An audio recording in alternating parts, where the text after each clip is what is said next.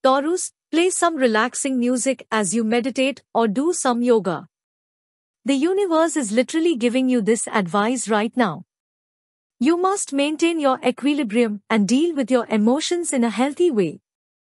You could be going through a quarrel or feeling some emotional disturbance. Without anticipating comprehension or empathy, communicate with individuals in need in a healthy and productive way.